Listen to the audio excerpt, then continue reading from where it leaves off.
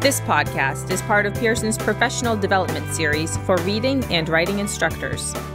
I'm Kim Flachmann. I teach at California State University Bakersfield in the English department, and I direct the writing program there. The name of my talk is Integrated Reading and Writing for College Success 10 Maxims for Developmental Students. Learning for developmental students often depends on more than their basic genetic learning styles. It is also governed by any baggage they may have brought with them from the lower grades, which might include family problems, incomplete language acquisition in all or the language they speak, a lack of respect for education in the home, no sustained reading, no reading at all, no substantive writing instruction, no books or magazines in the home, constant failure in high school, disrespect for teachers or authority figures, and a general lack of guidance in their lives. However, no matter what the aspects of a student's learning environment, he or she can rise above any personal circumstances if we put the responsibility for acquiring knowledge and skills firmly on them. We must believe they can learn the material we have to teach them and perform at a high level if we are going to work in a partnership with them in our classrooms. From my experience with developmental students, 10 specific maxims can help them achieve this level of responsibility and create an environment that will stimulate their best work.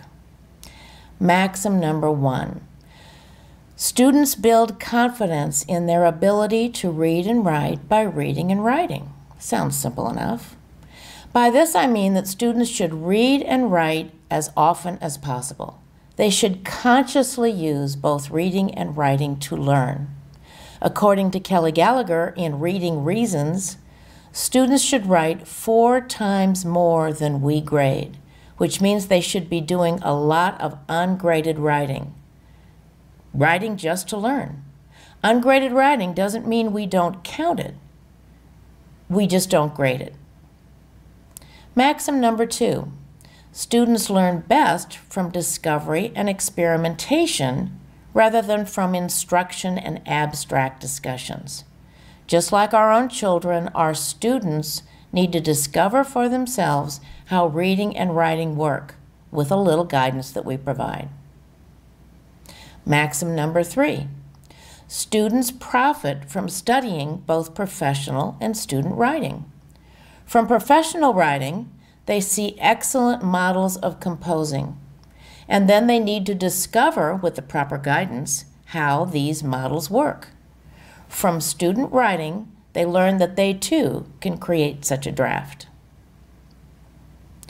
Four, Students need to discover their personal reading and writing processes. Students can read about the typical approaches to reading and writing, but to make them their own, they need to experiment with different reading and writing routines until they find one that suits their lifestyle. This process of discovery alone will be very beneficial in itself. Maxim number five students learn both individually and collaboratively. This means you need to build peer work into your classes when you can, and then move to individual work as appropriate. As the term progresses, you should reduce the group work and place more weight on individual responsibility for learning.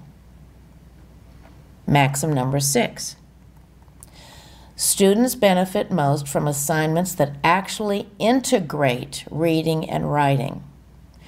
Research tells us that optimum learning occurs for all students when they read and write at the same time.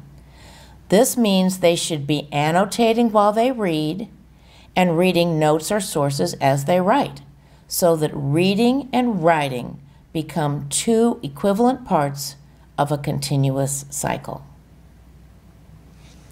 Maxim number seven.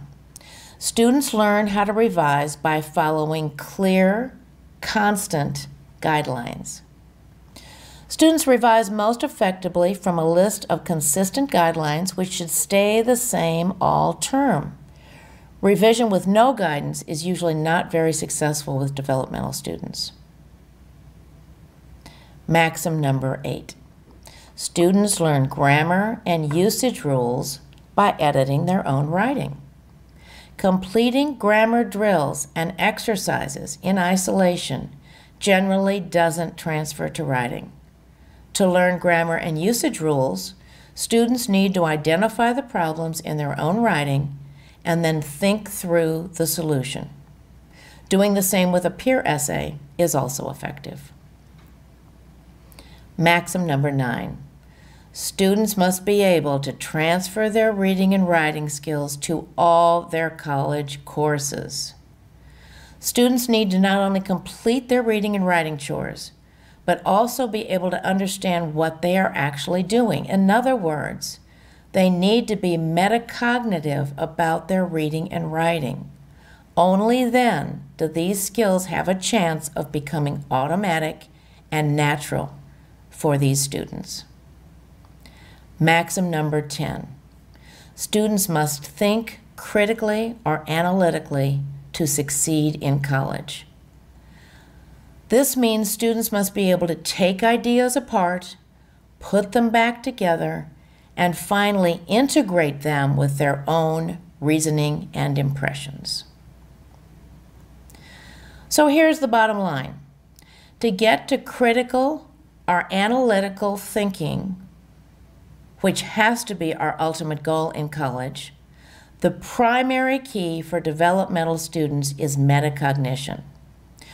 Once they actually understand how reading and writing work, they will be able to take these skills with them through college and into the workforce. For more podcasts and other resources, please visit Pearson's professional development community site at www.englishinstructorexchange.com.